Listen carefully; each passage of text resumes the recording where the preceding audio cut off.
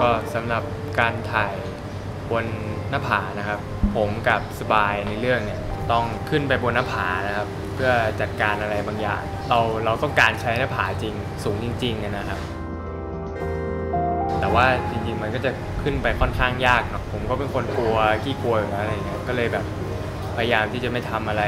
มากอะไรเงี้ยครับฉากที่รถชนตอนที่ลากกระเป๋าเข้าไปในป่าครับมันจะเป็นทุ่งหญ้าทุ่งหญ้าที่แบบโล่งๆนะครับเหมือนไม่มีอะไร แต่ว่าในนั้นมันมีอะไรแต่เรามองไม่เห็น ก็คือยุงครับ